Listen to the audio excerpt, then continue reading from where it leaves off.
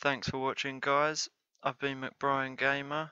Don't forget to leave a like and subscribe for more gaming content. Hope you enjoyed it and hopefully see you in the next one.